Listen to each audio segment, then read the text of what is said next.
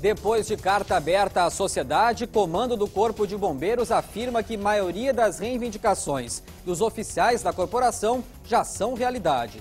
Quase dois meses após a tragédia da Boate Kiss, medo e insegurança ainda estão presentes entre jovens de Santa Maria.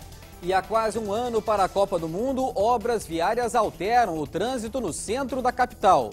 Na semana em que Porto Alegre completa 241 anos, uma série de reportagens sobre a natureza, história e cultura da cidade. Hoje vamos conhecer as belezas naturais das ilhas do Delta do Jacuí.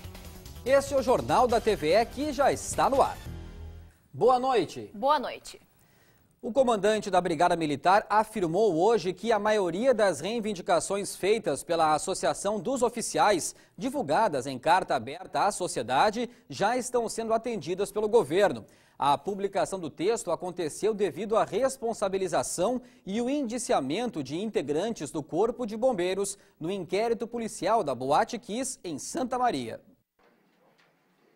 A carta aberta possui cinco reivindicações ao governo estadual, como plena autonomia de gestão para o Corpo de Bombeiros, criação do cargo de subcomandante-geral da corporação, designação somente de oficiais especialistas para o comando e aplicação exclusiva de 10% dos recursos da Secretaria de Segurança Pública. Para o tenente-coronel José Carlos Ricardi, da Associação dos Oficiais da Brigada Militar, os bombeiros estão desmotivados e desvalorizados para a atividade, o que prejudica o trabalho diário. Nós queremos é que o governador respeite a instituição Bombeiros com um único objetivo, porque o bombeiro ele vive para servir a comunidade, ele não está servindo como deveria por causa das suas carências, inclusive motivacionais. Desde a instrução, passando pelos meios, não tem carência que os bombeiros não tenham, desde motivação, em unidades de bombeiros comandadas por oficiais não bombeiros, que não, nesse caso, não foi relevante lá em Santa Maria. Por outro lado, nós notamos uma mediatização dessa tragédia de Santa Maria, estão abusando das famílias das vítimas e estão procurando bruxas aí por tudo, inclusive os bombeiros. Já para o Comando Geral da Brigada Militar, o governo vem investindo permanentemente no Corpo de Bombeiros nos últimos dois anos, cumprindo o compromisso de dar mais autonomia à corporação. Entre as iniciativas, a entrega de 17 novos caminhões para todo o estado e a mudança curricular no treinamento de novos profissionais. Algumas medidas já foram adotadas nesses dois anos, como a mudança do edital para ingresso de novos soldados, a mudança em 70% do currículo do curso de bombeiro, coisa que não acontecia no passado. Nós estamos procurando colocar em atividade de bombeiro a nível de comando somente oficiais que possuem o curso. As unidades de bombeiro elas possuem o FUNREBOM, o Fundo de Reequipamento dos Bombeiros, que é gerido pelos municípios. O bombeiro produz essa receita e, através de planejamento, ele consegue buscar viaturas e equipamentos para atender a sua demanda. Então, não é possível atender essa reivindicação especificamente da destinação de 10%? Não, essa reivindicação aí vai ser analisada. Nós estamos há dois meses à frente da corporação, juntamente com o nosso comandante, Coronel Fábio. Nós vamos verificar isso aí junto à Secretaria de Segurança, junto à Secretaria da Fazenda e vamos verificar a possibilidade de ser atendido ou não esse pleito. E passados 57 dias da tragédia de Santa Maria, o luto ainda é visível. Entre os jovens, há medo e insegurança que se refletem em outras casas noturnas da cidade. A cidade que antes era conhecida pela alegria, pela quantidade de jovens, o município militar e universitário, hoje sobrevive assim. A sensação que se tem é que as pessoas fazem somente as obrigações básicas. Ainda de luto, a maioria dos moradores de Santa Maria optam por não sair à noite. Dificilmente né, tenho saído depois que aconteceu esses fatos. Né? Agora as pessoas cobram mais, olham mais, das pessoas que eu conheço, eu vejo que muitos não estão saindo mais. Muitos, ou que saem, entram nas casas, já vão observar extintor, já vão observar mais o, o local do que antigamente, né? Agora as pessoas vão pensar duas vezes onde, onde vão. A fachada da boate virou local de peregrinação. Passados quase dois meses na maior tragédia da história do Rio Grande do Sul, pessoas ainda visitam a rua, tiram fotos, se comovem. Lucimar não perdeu ninguém no incêndio, mas veio a boate quis deixar flores e um bilhete de apoio às famílias. Eu senti no coração que eu tinha que vir aqui, sabe? Muitas pessoas estão sofrendo, uh, os familiares nunca vão esquecer. A divulgação do inquérito voltou a mexer na ferida ainda aberta. O relatório da Polícia Civil cita denúncias anônimas de que a prefeitura estava omitindo documentos essenciais para a investigação, como o parecer de um arquiteto que determinava que o estabelecimento não poderia estar funcionando. O documento que trazia as circunstâncias mais importantes, que eram 29 apontamentos de irregularidades, não foi encaminhado pela prefeitura nós precisamos fazer uma diligência de busca e encontramos esse documento em um outro setor e essa situação não ficou bem explicada do porquê. Ao final, o relatório apontou 16 indiciados por seis tipos de crimes diferentes e fez referência a 19 nomes. 12 desses não foram incluídos no indiciamento. O total foi de 28 pessoas responsabilizadas. Segundo a Prefeitura de Santa Maria, não houve sonegação de documentos o prefeito despachou as solicitações à Procuradoria-Geral do município e aos setores competentes. E o documento referido na reportagem encontrava-se no arquivo da Superintendência de Análise de Projetos. E um grupo de manifestantes se concentrou hoje no centro de Santa Maria para pedir o afastamento do prefeito César Schirmer e dos funcionários iniciados no inquérito sobre o incêndio da Boate Kiss. O ato foi organizado através das redes sociais e a Associação de Familiares familiares e vítimas da tragédia, informou que a manifestação não contou com o apoio da entidade. Um trecho da Avenida Júlio de Castilhos, no centro da capital, ficará interrompido pelos próximos 30 dias. A construção de um viaduto no local deverá melhorar a mobilidade urbana com vistas à Copa do Mundo de 2014. O bloqueio reduziu mais de 50% do espaço destinado ao fluxo de veículos entre as ruas Coronel Vicente e Conceição. Nós temos a capacidade de uma, de uma via de em torno, cada por faixa em torno de 1.800 veículos hora. Né? Nós tiramos duas faixas e decresce né, o, o, número de, de ocupação desse espaço. Logo, vai haver lentidão. Para reduzir o impacto no trânsito, principalmente no horário de pico, a EPTC também iniciou hoje, entre as 16 e 20 horas, o bloqueio total da Coronel Vicente, entre a Mauá e a Júlio de Castilhos. Principalmente entre 16 e 20 horas, nós vamos criar mecanismos que façam que flua melhor o trânsito na Júlio de Castilhos. Um deles é o bloqueio da Coronel Vicente, fazendo com que aquele trânsito que vem oriundo da Mauá acesse a Carlos Chagas e pega em seguida a rua Comendador Manuel Pereira, voltando para Coronel Vicente, sem maiores problemas. A EPTC pede aos motoristas que circulam nas imediações do centro histórico que evitem utilizar a Júlio de Castilhos. As mudanças no local deverão durar cerca de um mês, enquanto estarão sendo construídas as bases do viaduto previsto para as obras da Copa viaduto que vai levar o trânsito da Avenida Júlio de Castilhos com mais fluidez até a saída da cidade vai começar aqui na rua Coronel Vicente, contornar o complexo da rodoviária, desembocando diretamente na Avenida Castelo Branco. A obra deverá estar pronta em novembro deste ano. E a Prefeitura informou que também, devido às obras para a Copa, haverá bloqueio parcial no cruzamento da Avenida Bento Gonçalves com a Rua Vicente da Fontoura, a partir desta terça-feira. Os trabalhos acontecem das 9 da manhã às 5 da tarde até o dia 16 de abril. E as obras para 2014 na Copa também estão causando impasse entre moradores do bairro Santa Teresa e a Prefeitura da capital eles vão negociar por mais tempo o valor para desapropriação de habitações, já que as famílias consideram baixo o preço estabelecido. 17 pessoas da família de Christian moram em cinco casas nesse terreno da rua Santa Cruz, no Morro Santa Teresa. Eles estão longe da linha de duplicação da Avenida Tronco, obra da Copa que vai desapropriar 1.400 famílias. Mas é no terreno onde vive a terceira geração da dona Marcelina Ferreira que devem ser construídas casas para os atingidos pela obra. O problema é que os proprietários acham pouco o valor de 480 mil reais que a prefeitura quer pagar pelos quase 900 metros quadrados de área.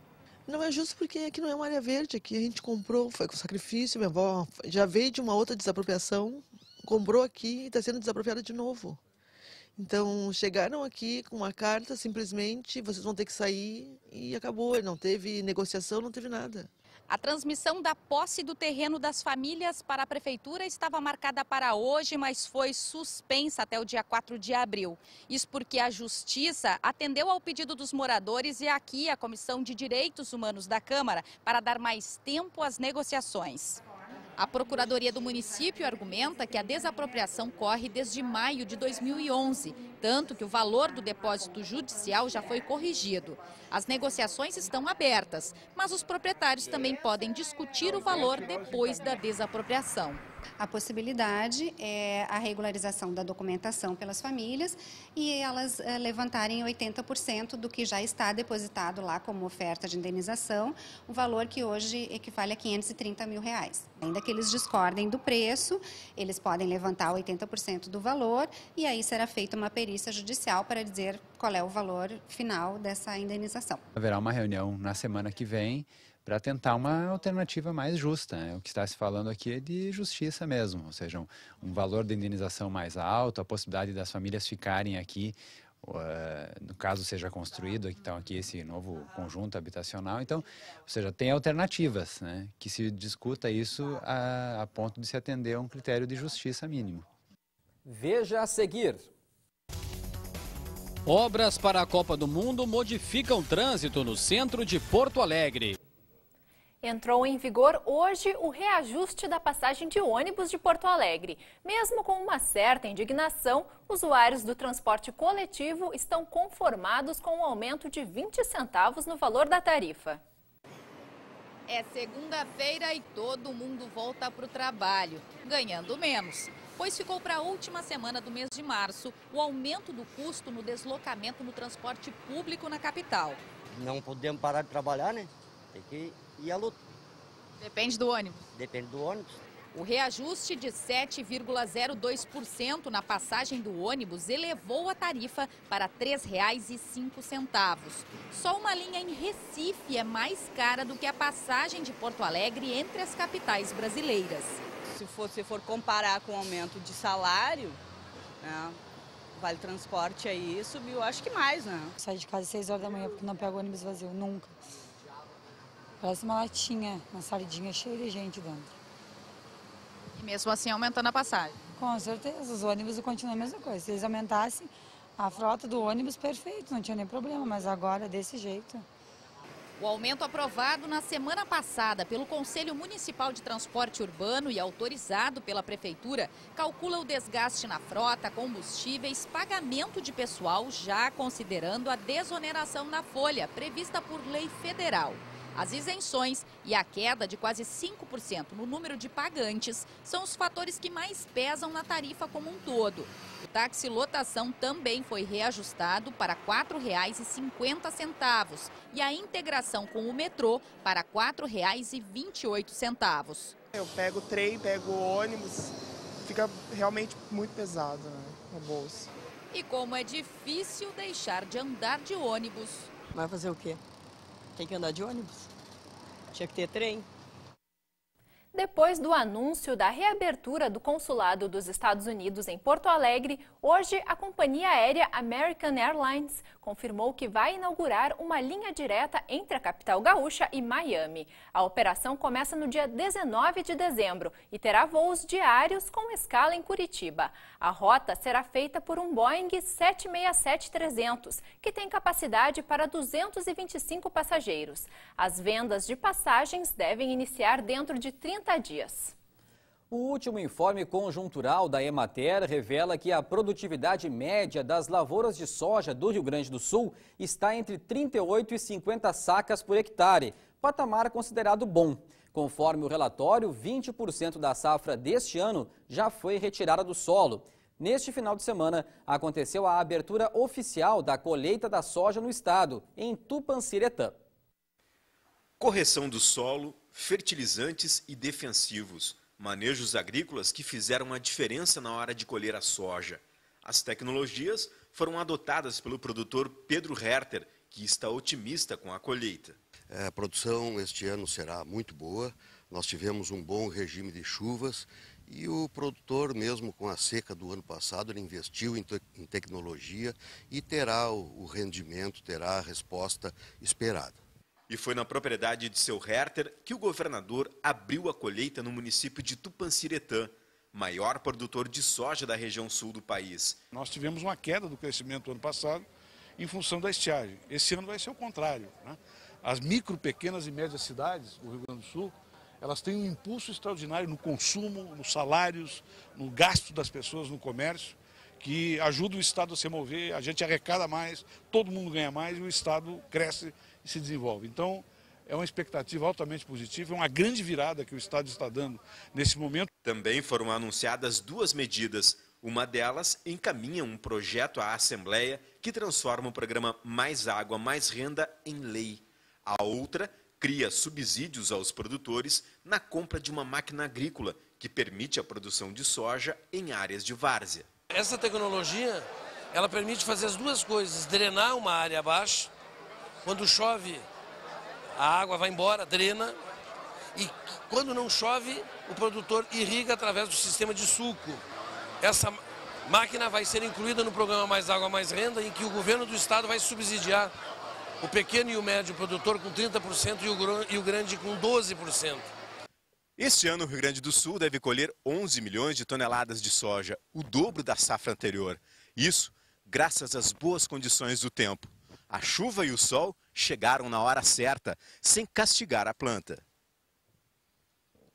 A, a, chuva já tinha, a soja tinha parado o seu período de crescimento. A chuva tinha paralisado em janeiro. Quando iniciou a chuva de fevereiro, ela deu mais um avanço e botou o que nós chamamos de uma sobrecarga, um segundo andar na soja, que é essa parte superior, e que eh, seguramente, além de garantir uma boa formação do grão da parte inferior da planta, na parte superior deu um acréscimo significativo. E como vimos, são boas as perspectivas de produção de soja no estado este ano. Para as lavouras que ainda estão em fase de maturação, a umidade não chega a ser um grande problema. Mas para quem já colocou as colheitadeiras no campo, a chuva não é muito bem-vinda. Bruna, será que o tempo vai colaborar? Boa noite. Boa noite. Pois é, Lívia e Vinícius, o bom é que os produtores acelerem a colheita, porque a tendência é de um outono com muita chuva no Rio Grande do Sul este ano o que prejudica o trabalho das máquinas no campo. Bom, e amanhã nós já teremos uma prévia do que vai ser a estação. O deslocamento de uma nova frente fria vai provocar chuva em algumas regiões do estado. O dia começa com tempo firme na maior parte do território, mas ao longo da tarde a nebulosidade aumenta e provoca chuva principalmente na metade leste. Chove no decorrer do dia em Porto Alegre, na região metropolitana, máxima de 26 graus. Pancadas de chuva também no sul do estado, o dia começa com 18 graus em Rio Grande. Em Vacaria, na Serra Gaúcha, a nebulosidade avança ao longo do dia, máxima de 23. Já na região central e na fronteira oeste, o sol aparece entre nuvens. Faz 26 graus em Cachoeira do Sul e 30 em Uruguaiana. Veja depois do intervalo. Conheça as belezas naturais do Delta do Jacuí, em um passeio de barco pelas ilhas do Guaíba. Março é um mês de comemorações na Fundação Cultural Piratini. No dia 29, a TVE e no dia 25, a FM Cultura fazem aniversário. Datas celebradas hoje por funcionários e diretores das duas emissoras. A TVE está no ar há 39 anos e a FM Cultura 107.7 há 24. Durante essa longa caminhada, muitos foram os desafios e as conquistas dos servidores fato destacado pelo presidente da instituição. Ele também creditou aos funcionários da casa os avanços técnicos, como o novo transmissor digital, que deve começar a operar neste ano, e as novas programações das emissoras. Nós estamos conseguindo ocupar um espaço que é da radiodifusão pública. Produzir uma programação diferenciada, com conteúdo que gere conhecimento e com conteúdo que ofereça alternativas a quem não quiser assistir outras televisões ou ouvir outras rádios, possa aqui encontrar uma guarida de algo que tenha mais ligação com a cultura e que, com o conhecimento e um pouco com o lazer, mas uh, mais comprometido com a sociedade. Um abraço simbólico ao Centro Histórico homenageou Porto Alegre no final da tarde de hoje. No dia que antecede o aniversário de 241 anos de Porto Alegre, a Praça Otávio Rocha foi o local escolhido pelos profissionais da rede hoteleira e Secretaria Municipal do Turismo para abraçar e declarar o seu amor à capital dos gaúchos.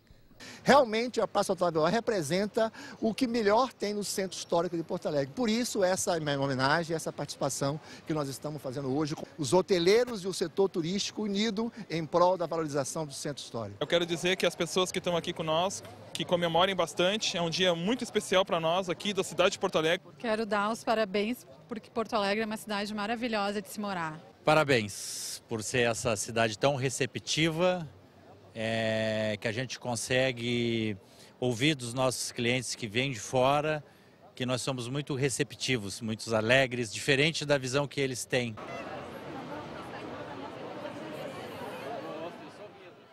Nesta semana em que Porto Alegre comemora 241 anos, vamos exibir uma série de reportagens especiais sobre a capital gaúcha. Hoje vamos destacar as belezas naturais das ilhas que compõem o delta do Jacuí.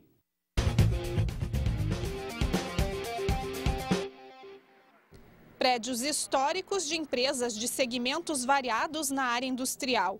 Neste prédio, datado de 1891, funcionava uma fábrica de fiação e tecidos. A fachada original está mantida, mas no local vai ter um shopping, fábrica de chocolate, cinema, igreja Nossa Senhora dos Navegantes e, numa construção mais atual, um outro shopping center. A Ponte do Guaíba liga a capital ao sul do estado.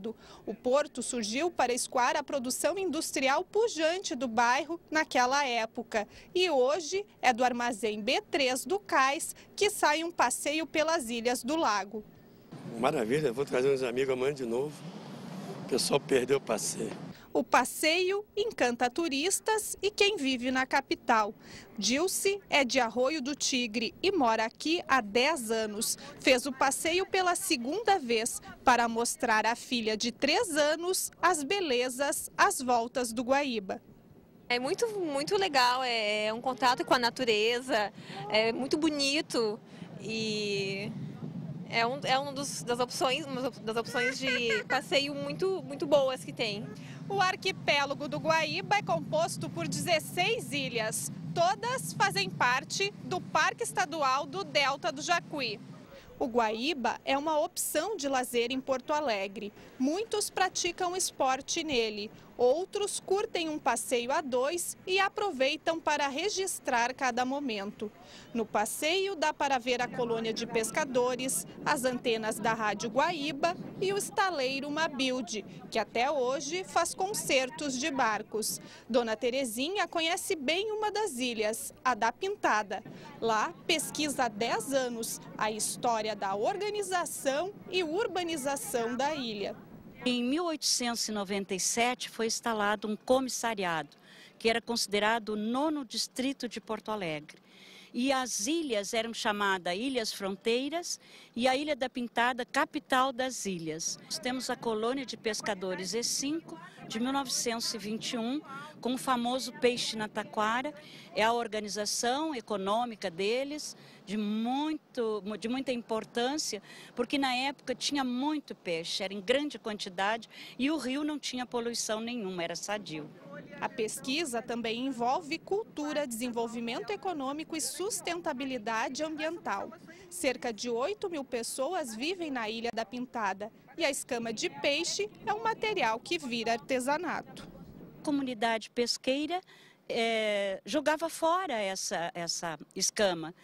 E, e, nós hoje então aproveitamos a escama, estamos aproveitando couro de peixe para fazer uma matriz de ecodesenvolvimento. Futuramente estaremos também trabalhando com como é que eu vou dizer, com ossinho do peixe também. Ecomuseu, que é uma perspectiva de museus bem contemporânea que surgiu com a Eco 92, que envolve economia, ecologia e museus. Quando nós percebemos a realidade do que seria a, a arte escama, a geração de renda através da escamas de peixe e de uh, couro de peixe também, nós vimos que nós estamos num cenário fantástico, que é a Ilha da Pintada. Porque a Ilha da Pintada, em si mesma, ela é um cenário histórico, onde já ocorreram coisas fantásticas que eu morando em Porto Alegre a vida inteira, eu não conhecia. O Jornal da